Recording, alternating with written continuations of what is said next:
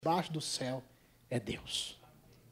Abra sua Bíblia no Evangelho de Lucas, capítulo de número 10. Para alguns irmãos, nós estamos fazendo a exposição desse texto sobre a parábola do bom samaritano. Pela manhã nós trabalhamos a realidade do amor que fomos chamados a amar no culto de meia. Trabalhamos o tema chamados a viver. E agora nós iremos trabalhar o tema chamados a obedecer. Como o Senhor Jesus, o nosso amado, o nosso amado mestre, nosso grande referencial, ele veio não para ser servido, mas para servir e dar a sua vida em resgate de muitos. Seremos objetivos, pois iremos participar da mesa do Senhor também. Mas leiamos a palavra do Senhor, convido que façamos juntos a leitura. É, lerei os versos pares e os irmãos os versos ímpares até o verso de número, o versículo de número 37. Jesus prosseguiu dizendo: Certo homem descia de Jerusalém para Jericó e veio a cair em mãos de salteadores, os quais, depois de tudo, lhe roubaram e lhe causaram muitos ferimentos. Retiraram-se, deixando-o semi-morto.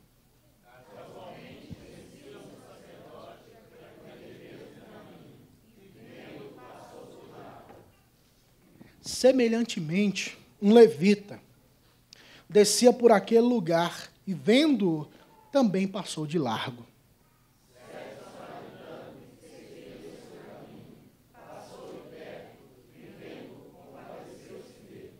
E chegando-se, pensou-lhe os ferimentos, aplicando-lhes óleo e vinho, e colocando sobre o seu próprio animal, levou para uma hospedaria e tratou dele.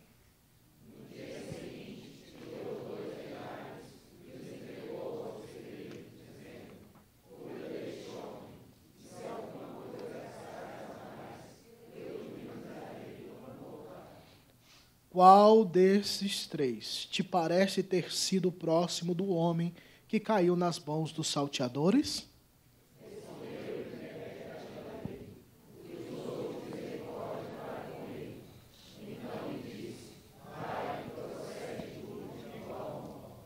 Oremos ao Eterno. Senhor, tu és aquele que habita no mais alto e sublime trono. Entre os querubins tu és adorado por toda a eternidade. E nós estamos aqui na terra dos viventes, pecadores, pobres, necessitados do teu olhar, da tua presença. E clamamos a ti, Pai de todo o universo, que através do teu santo filho Jesus Cristo, nosso Senhor, o teu filho amado, unigênito, o Senhor se compadeça de nós nesse momento. Deus, meu coração treme diante do Senhor. Eu tenho desejos, vontades de ver tua glória, o teu poder, o brilho da tua face resplandecendo no meio do teu povo, Pai mas é um desejo ainda que está revestido de incapacidade de fazer por si só. Então eu peço a tua ajuda, Senhor. Como teu servo orou, eu oro ao Senhor. Deus, manifesta-te a nós. Se faz presente aqui, Deus. Mais uma vez. Vem assistir essa pregação, Deus esteja no nosso meio. Enquanto eu prego o teu santo livro, Deus, passeia no, teu, no meio do teu povo. Como diz a tua escritura, o Senhor está passeando no meio das sete igrejas. Passeia aqui, Deus. E nos convence da necessidade de externarmos esse amor que recebemos da tua parte. Converte-nos e seremos convertidos essa noite. E a minha oração é que o teu nome, Deus, seja conhecido, temido e respeitado, ó Deus da terra e dos céus. Em nome de Jesus é a minha oração. Amém e amém.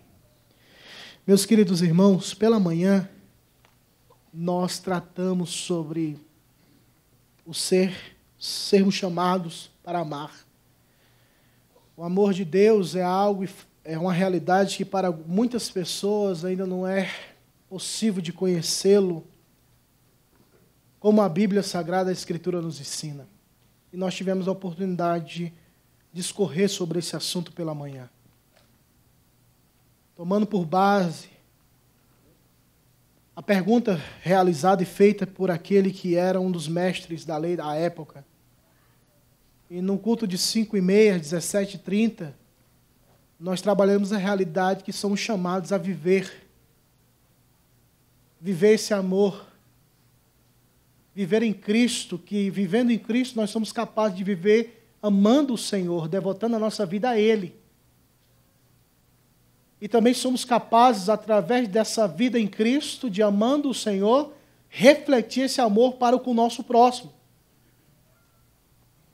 Nossos familiares, nossa casa, nossa vizinhança, aquele que está próximo a nós. E agora nós queremos trabalhar a perspectiva, tendo por base o verso 37, a parte final, quando o Senhor Jesus disse: Vai e procede tudo de igual modo. E nós vamos trabalhar o texto que diz, título que diz, chamados a obedecer. Nós fomos chamados a obedecer a palavra de Deus. Mas perceba que é uma realidade como se fosse um efeito dominó. Se de fato eu estou em Cristo, se de fato eu amo o Senhor, se de fato eu cultivo essa vida de devoção, vivo em Deus, vivo amando o Senhor e conheço esse amor, o fato de obedecer será um aspecto natural. É como se o sobrenatural acontecesse naturalmente. Você amará o Senhor e fará aquilo que é o princípio central dessa parábola: amor ao próximo. Tendo por base o bom samaritano, nós vamos focar nas atitudes que ele teve, mas a ideia central da parábola é incentivar os ouvintes a amar o próximo, independente de raça, cor, situação econômica, política, independente de qualquer circunstância externa, somos chamados a amar e demonstrar esse amor. E o Senhor Jesus, citando essa parábola, desconstruindo a mente do sacerdote que limitava o amor na nação judaica da época, não conseguiam ver que esse amor deve ser espalhado por toda a terra. Esse amor deve ser conhecido em todas as nações. Por isso é que o, o intérprete perguntou, querendo se justificar: quem é o meu próximo? Porque ele tinha em sua mente a realidade que o próximo era o povo, a nação de Israel.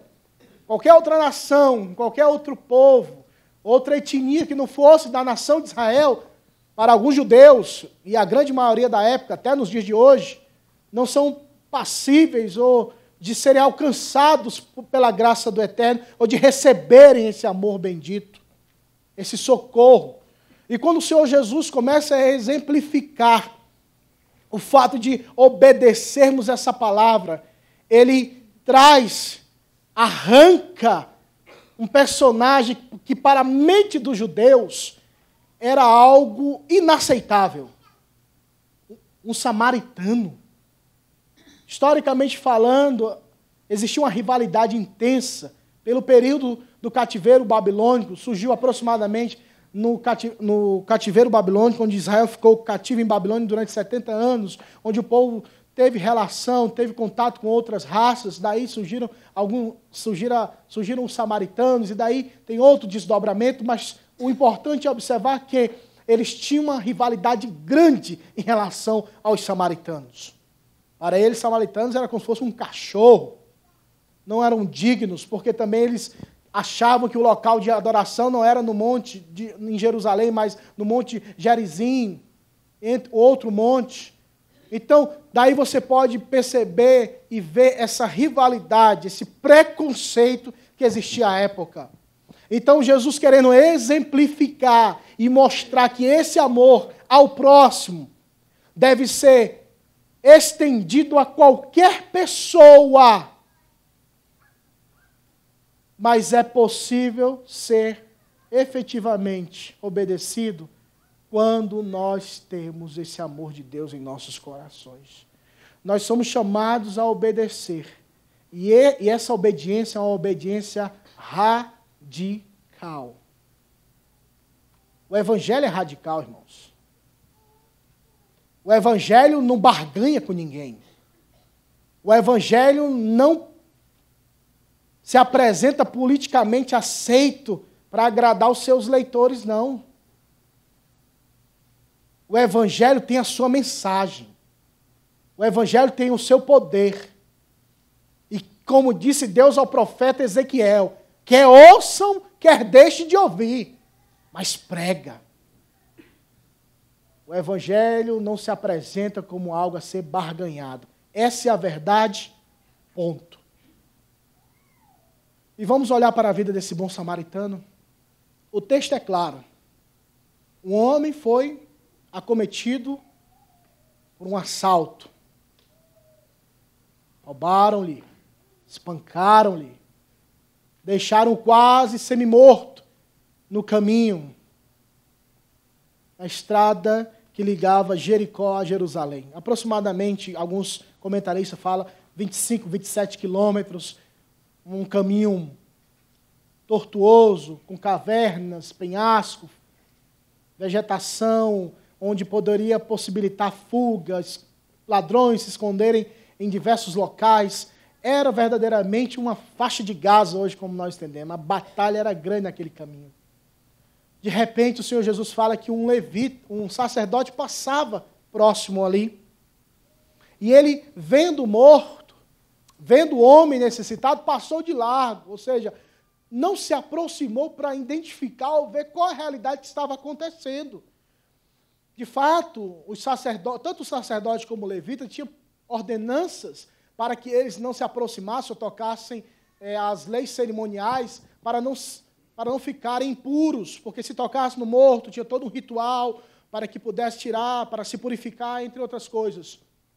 Mas o fato é, eles foram obedientes à realidade ritualística menosprezando os princípios elementares, que é amar ao próximo, como Deus, Deus enche o Antigo Testamento com ordenanças para amar, cuidar, ser atencioso para com os órfãos, as viúvas, os estrangeiros. Você vê isso em quase todo o Antigo Testamento.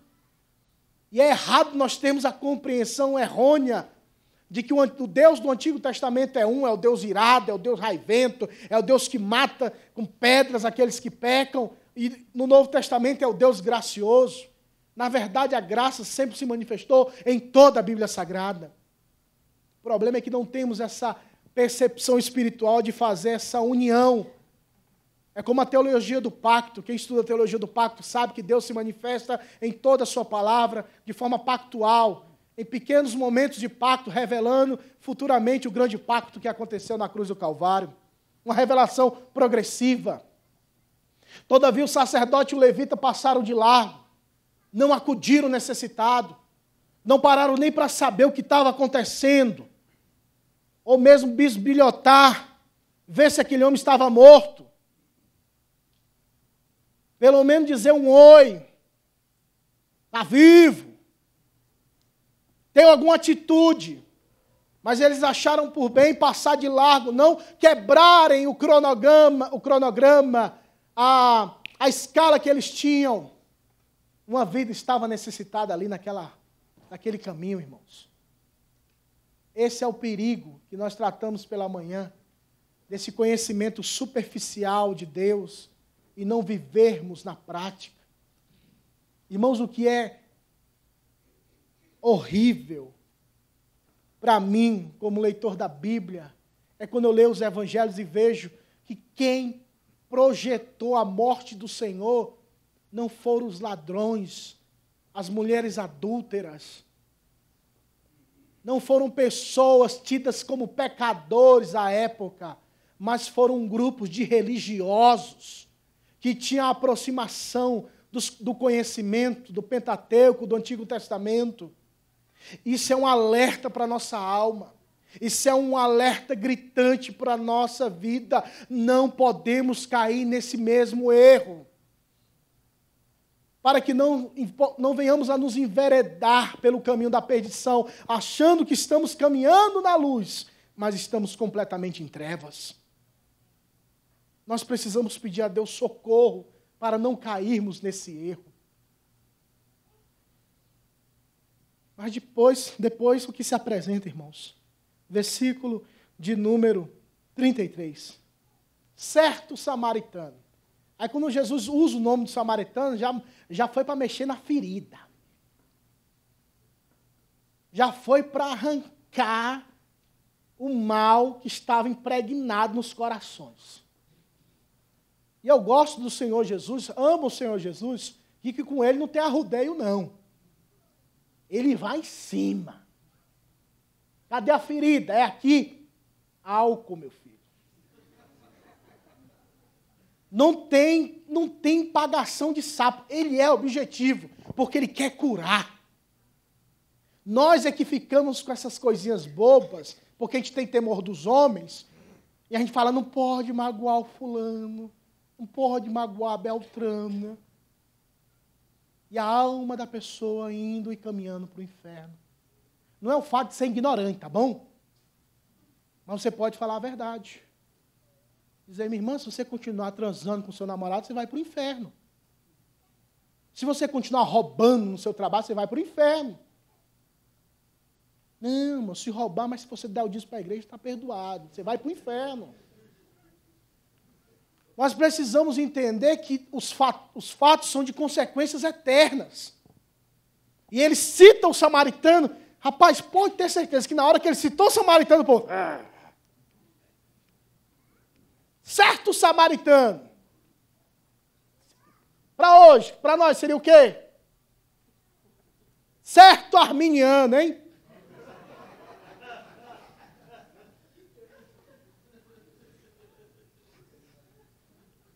Quem seria?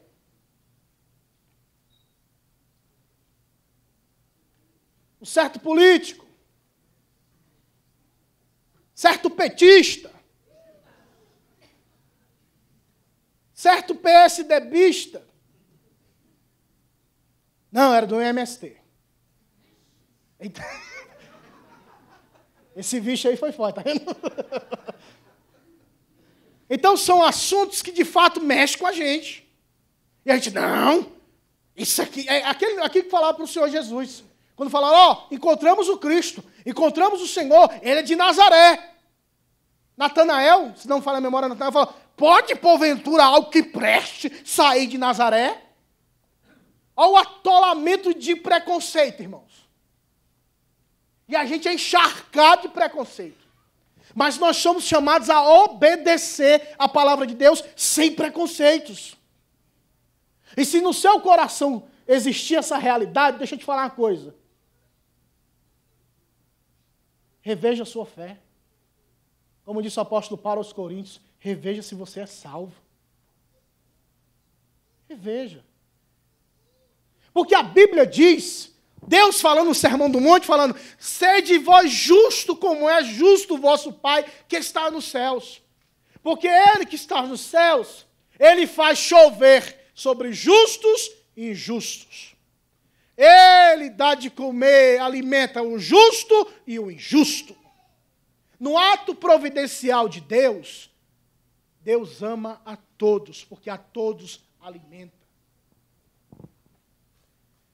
Todavia, a graça da salvação é dada só aos eleitos.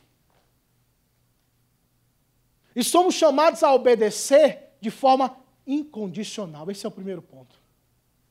Precisamos obedecer a palavra de Deus de forma incondicional. Mas eu posso perder o emprego. Mas eu posso morrer. Mas eu posso. Eu... Não tem mais. Se cremos no Evangelho, devemos obedecer ao Evangelho de forma incondicional. Quando tratamos desse assunto incondicional, a gente já fica logo assim, caraca, velho. Tá difícil, viu, pastorzão? Eu vou te falar, viu? Largar aquele negócio que eu tenho ali, você não sabe, depende daquilo, entendeu? Você não sabe, você paga minhas contas. Você não sabe como é que está a minha vida. Acho que eu vou largar aquilo? ou vou fazer esse favor, amar essa pessoa, aquilo merece o inferno, pastor. Aquilo merece morrer no quinto dos infernos. E uma irmã foi aconselhar outra sobre um problema de casa, sobre obedecer a palavra do Senhor. E a irmã falando os problemas com o marido. E a outra foi aconselhar, não, minha filha, fosse comigo, eu meti a mão na cara. Eu falei, meu Deus do céu. E era um breve aconselhamento, né? Sim. Fosse eu, metia logo a mão na cara. Irmãos, é nesse momento que nós precisamos obedecer a palavra do Senhor de forma incondicional. Olha o que o texto fala. O texto fala que quando esse que era o samaritano, olha só, seguia o seu caminho. Ou seja, ele tinha a vida dele. Ele não estava dentro do cronograma religioso, ele não tinha preceito, ele não fazia parte da. da, da, da, da, da é... Ai, meu Deus do céu. Diz da fé judaica, ele não estava dentro desse, dessa escala religiosa. Ele não estava dentro dessa escala de servir. Ele não tinha, para o judeu, ele não tinha nem conhecimento da lei.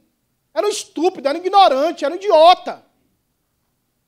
Mas ele teve a postura de que seguia a sua vida, mas ele parou. E às vezes a gente fala assim, cara, eu tenho minha vida, velho, eu tenho minha vida, eu tenho meu lar, eu tenho minha família, eu tenho, eu tenho, eu tenho. Você não tem nada. A vida que você tem foi dada pelo próprio Deus para você viver para Deus. Se você quiser viver a sua vida, não viva o Evangelho. Porque Evangelho é renúncia. Evangelho é carregar a cruz.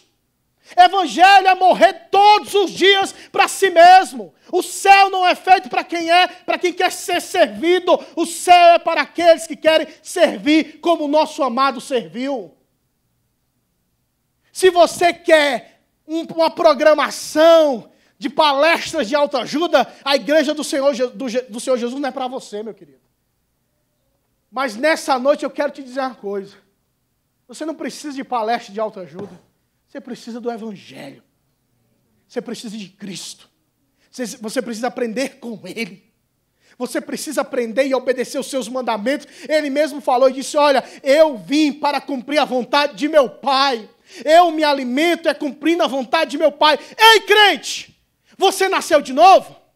Você tem um novo coração? Você tem uma nova mente? Você tem uma nova vida? Então você não se pertence. Isso é uma lógica natural, meu filho. Se você é de outro, como é que você quer viver do seu jeito? Você quer obedecer condicionalmente. Senhor Jesus, até as nove horas eu obedeço. Nove e um eu saio porque já passou do horário. A gente impõe condições para servir o Senhor. Eu vou. Mas aí tem que ser do meu jeito. Aí Deus pega você que gosta do jeito seu e quebra as suas pernas e coloca do jeito dele. Isso é que é gostoso. E Jesus gosta muito de fazer isso, sabia? Você pega um camarada assim, uma menina meia, uma mocinha meio assim, ai, tem que ser do meu jeito. Aí Jesus vem cá, minha filha, eu vou mostrar qual é o jeito certo. Aí geme, aí aperta a porca do parafuso, e é grito, e é choro, e é apertar, e, nhê, e geme, e chora. Sabe por quê? Porque é do jeito de Jesus Cristo. Enquanto não aprender, vai beijar a lona. Enquanto não aprender, vai passar por dificuldade, porque isso se chama pedagogia divina. Minha santa mãezinha está chegando dia 18 de agosto para me visitar.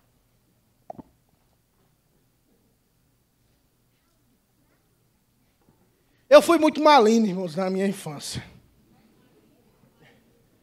Malino é espritado, doido. E minha mãe, guerreira, mulher de Deus. Quando era para orar, era orar, orava, mas quando era para meter a chibata, ela metia. E nunca morri, nunca deixei de ser macho por causa disso, entendeu? A gente né, pode bater menino não para crescer traumatizado. Ele vai dar em você depois se você não cuidar dele hoje. E minha mãe pegava assim, disse, olhe, sentava o rei, pegava o cinturão que tinha, tinha na mão. E toma, peia para lá, peia para cá. E quanto mais eu gritava, mais o chicote comia. E quando ela batia, ela dizia algo interessante. Que até hoje ficou Gravado na minha mente. A dor também ficou, mas essa frase ficou. Eu falava assim, olha, chorando. Dói mais em mim do que em você. E é melhor você apanhar das minhas mãos do que apanhar do mundo. Eu ia lá chorar no canto. Depois ela chamava, senta aqui no meu colo, vem cá agora, chorando, diga que me ama. E eu chorava assim, mãe, eu te amo. Como é que não fala, né? Mãe, eu te amo, mãe. Ia falar, meu filho, dói em mim, meu filho, dói tanto em mim. Eu falei, é sério, mãe, dói na senhora? Dói, meu filho, porque eu te amo. Ela falava assim: dói porque eu te amo. Deus te ama e às vezes te açoita para que você aprenda que o melhor caminho e viver uma verdadeira liberdade é obedecer a palavra dele, ser obediente incondicionalmente. Ele te deu tudo. Ele morreu na cruz por você. Ele tinha a capacidade de acabar com tudo, sendo escarnecido, humilhado. Pedro foi tentar fazer uma intervenção humana, sentou a peixeira na garganta do camarada, o cara se esquivou, pegou na orelha do cara. Jesus disse: guarda essa peixeira, guarda essa faca, homem, porque se eu quisesse, eu acabaria com tudo aqui agora. Eu rogaria ao Pai uma legião de anjos e acabaria com tudo, mas ele tinha um propósito a cumprir. Ele veio para cumprir a vontade de Deus. E sabe qual era a vontade de Deus? Primeiro, a glória do nome dele. E segundo, salvar você. E você fica com nhe, nhe, nhe, nhe, nhe. Jesus morreu por você, rapaz. Jesus deu a vida por você. Pelo amor de Deus. Não tem nem o que falar agora. Ele morreu por você. Viva essa vida, obedeça o Evangelho, conheça o Evangelho e diga: Eis-me aqui, Senhor. Envia-me a mim. Somos chamados a obedecer incondicionalmente. Ele tinha a vida dele, a Bíblia fala que ele estava no seu caminho. Mas o que foi acontecer? Ele parou. Ele viu a necessidade. Ele viu aquele que estava lá quase semi-morto. E disse: Eu vou olhar e viu que o cara foi espancado, estava quase morto, sangrando. E ele colocou em prática o mandamento do Senhor, quando diz lá em Levítico 19, que lá na lei, você vê, né? A lei, o livro da lei, mas está lá o livro da lei dizendo: amarás o teu próximo.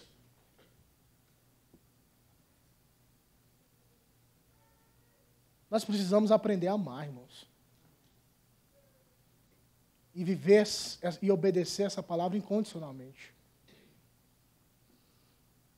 Quando chegamos na Espanha, passamos pela, pela imigração, nosso trabalho na Espanha, na cidade de Cáceres, que ficava próximo a Portugal, nós fizemos muito trabalho de rua, reverendo Rosta. Evangelismo de rua, nas praças. Infelizmente, a Espanha é um país pós-cristão e abra, abraçou o pós-modernismo, então o que não foi explicado racionalmente eles não aceitam. Homens, mulheres e crianças blasfemam de Deus assim com uma naturalidade tão grande. Coisa que, tipo assim, nós, é possível ver no dia de hoje, mas não é tão comum a pessoa usar tão, tantas palavras de baixo escalão com a pessoa de Deus. Que às vezes eu ficava assim, meu Deus, o que, que é isso? Chega, te assusta, sabe? E nós estávamos evangelizando na rua e um senhor um idoso parou. Estava eu, Jadon, um amigo nosso de Nova York. Ele tocando violão e, por incrível que pareça, eu cantando na rua. Quem sabe aí, né, sabe que. Mas pela obra da evangelização a gente canta na rua e em espanhol, pastor. Dá-me tus ojos, né, pastor? Imagine a cena, reverendo. Mas é pelo evangelho, né? É, não posso passar essa vergonha, porque eu sou desafinado, fora do tom. Olha o meu tom para você. Lembrei do Luciano uma vez. Gripado aqui, né, Luciano? Não, não dá para repetir, não. Mas ele falou assim: a Bíblia exige que todo ser que respira. Então, se você respira. Aí na época o Luciano estava gripado. Eu me lembro dessa época, estava gripado. Mas eu entendi a mensagem, Luciano. Porque a Bíblia exige Todo ser que respira.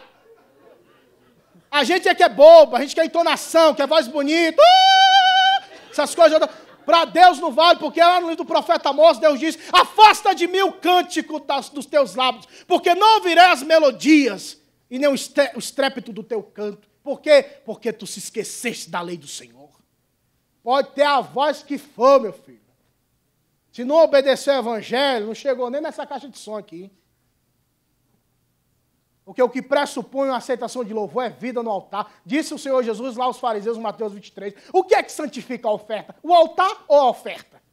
É o altar que santifica a oferta. Então, altar quebrado, meu filho. Pode agradar o povo da letra, da música, mas para Deus, ó, nem to you. Então estávamos na rua. Esse senhor começa a blasfemar, irmão.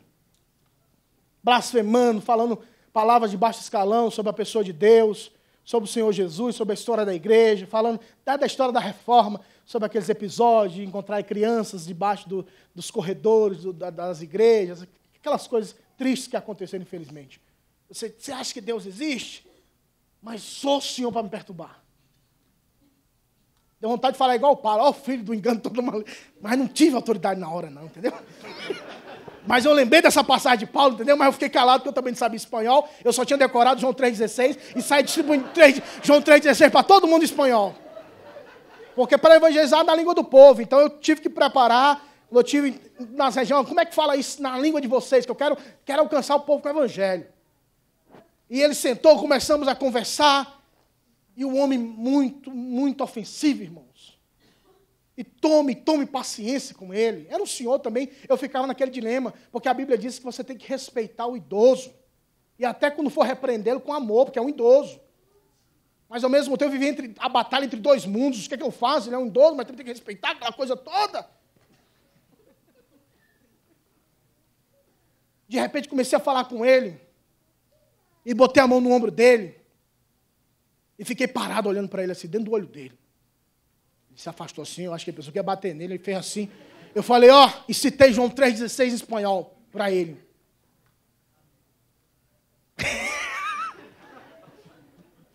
então, ele olhou, ele fez uma cara assim, de simplicidade e, e afeição, que era aquela afeição mais rígida da briga, mudou e ficou uns 20 a 30 segundos parado olhando para mim. Eu disse: Deus, é aqui agora? Aí ele perguntou: Você é de esquerda ou de direita? Eu falei: Eu sou do céu. Você também pode ser do céu. Ele abaixou a cabeça e saiu. Mas nessas batalhas, ainda que você não veja a vitória, Obedeça o evangelho incondicionalmente. Lá no seu trabalho, tem um cara lá, o cara, o cara é chato, o cara, o cara é xarope, prega o evangelho. Obedece a palavra, compartilha. Não reaja da mesma forma. Não resista o mal pelo mal, mas vence o mal fazendo o bem. Para nós vivermos e obedecermos a palavra do Senhor de forma incondicional, primeiro nós precisamos conhecer o Evangelho. Conheça o Evangelho. Foi o que ele fez ele tinha a vida dele, mas ele parou para socorrer aquele que estava necessitado.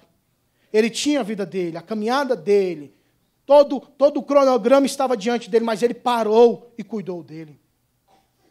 E nós precisamos seguir esse exemplo, obedecer de forma incondicional. Devemos também obedecer, somos chamados a obedecer com os nossos bens, com aquilo que Deus nos deu. Olha o texto, ele falando, aplicando óleo e vinho, colocando sobre o seu próprio animal levou para uma hospedaria e tratou dele.